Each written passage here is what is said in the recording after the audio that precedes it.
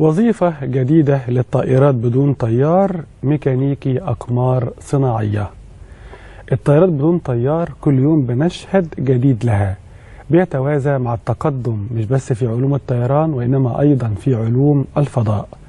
حضراتكم عارفين إن في الأقمار الصناعية اللي هو أول قمر صناعي سنة 57 القمر الصناعي السوفيتي سبوتنيك. منذ ذلك الحين لغاية دلوقتي أكثر من 4000 قمر صناعي موجودين في مدار حول الأرض. أكثر من 4000 قمر صناعي موجودين في مدار حول الأرض.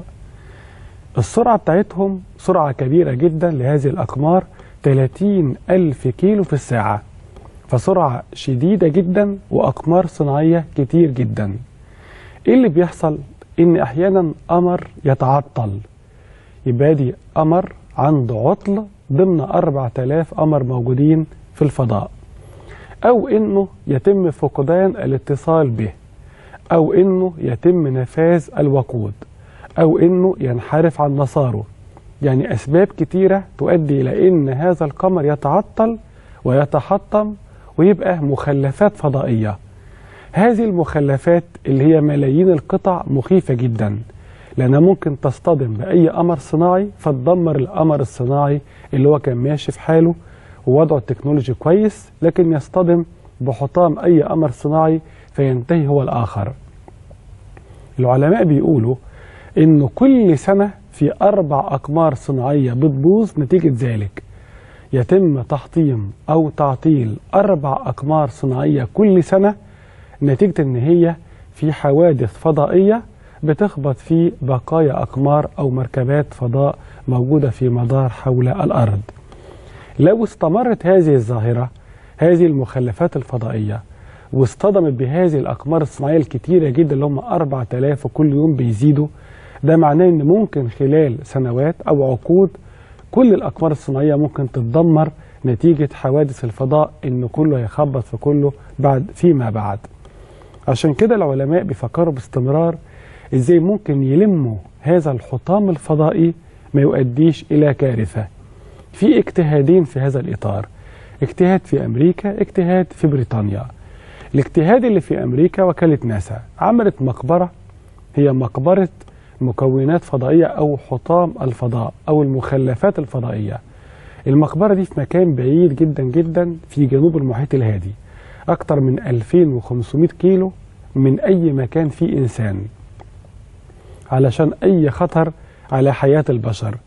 وهذه المقبرة كل ما يقدروا يلتقطوا أجزاء من الفضاء من مركبات سفن فضاء محطمة أقمار صناعية ياخدوا هذه المخلفات الفضائية ويروحوا لهذه المقبرة اللي في جنوب المحيط الهادي يدفنوا فيها هذه النفايات. الاجتهاد الثاني وهو جديد في 2018 الإنجليز في شركة بريطانية هتستخدم الدرون اللي هي الطائرات بدون طيار في إن هي تطلع تبقى ميكانيكي أقمار صناعية. تطلع هي تصلح الأمر الصناعي. يعني في كسر فهذه الطائرة بدون طيار تروح لوحدها تعمل لحام لهذا الكسر. في عطب تروح تصلح هذا العطب. إما إن القمر ده تضعه على مداره السليم لو كان انحرف عن المدار أو إنه يشتغل لو كان تعطل أو إنه تخرجه عن مداره تماما لو كان هيبوظ الدنيا وهيرتبك الحركة ترتبك الحركة نتيجة حوادث فضائية جديدة. إذا لأول مرة في شركة في بريطانيا 2018 بتتكلم إن هي بتجهز إن طائرات بدون طيار تطلع إلى مدار الأرض وتشوف الأقمار الصناعية اللي متعطلة وتصلح هذه الأقمار الصناعية. وده معناه إن هذه الحوادث الفضائية هيبقى تأثيرها أقل خطرا في المستقبل والأمر الثاني إن في كتير جدا أقمار معطلة اتكلفت ملايين الدولارات هيتم إعادتها إلى العمل من جديد. والأمر الثالث إنه باستمرار يمكن إعادة عمل هذه الأقمار والتواصل معها من جديد وبالتالي المكونات العلمية أو الرصيد العلمي اللي موجود على هذه الأقمار اللي ممكن يكون اختفى أو انتهى بتحطمها ممكن يكون في إمكانية للوصول إلى هذه المعلومات. إذا اجتهادين اجتهاد في أمريكا وكالة ناسا مقبرة مكونات أقمار صناعية وسفن فضاء. الاجتهاد البريطاني إن لا تروح طائرات بدون طيار تصلح الأقمار الصناعية فوق في المدار وترجع تاني بعد ما تنجز عملية الإصلاح في المدار حول الأرض. نقطة أخيرة في هذا السياق. حضراتكم لو بتقروا في هذا الموضوع هتلاقوا ضمن العلوم الزائفة اللي مش صحيحة. هتلاقوا الناس بتقول مفيش حاجة اسمها أقمار صناعية وإن في خدعة الأقمار الصناعية وخرافة الأقمار الصناعية وإن كل ده كلام وهمي. مفيش حاجة اسمها قمر صناعي ولا قمر صناعي بيدور حول الأرض.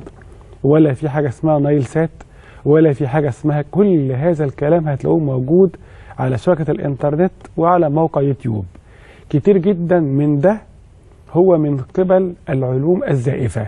ده كلام غير علمي وكلام غير حقيقي. مهما بدأ إن هو علمي مهما بدأ إن هو حقيقي هو جزء من العلوم الزائفة لا أساس له علميا.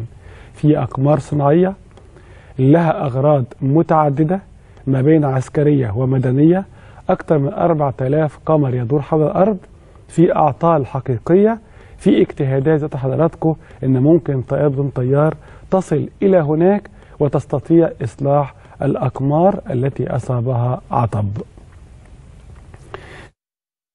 هذا الشرح في فيديوهين الفيديو الأولاني من بي بي سي بنشوف فيه محاولات إصلاح أو التفكير في إصلاح الأقمار الصناعية عبر الطائرات بدون طيار.